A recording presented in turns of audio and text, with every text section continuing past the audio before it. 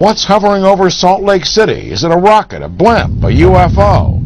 A strange object seen in the skies has residents scratching their heads. The craft floated overhead for several minutes before disappearing. Salt Lake air traffic controllers said their radar didn't pick up anything, and they have no knowledge.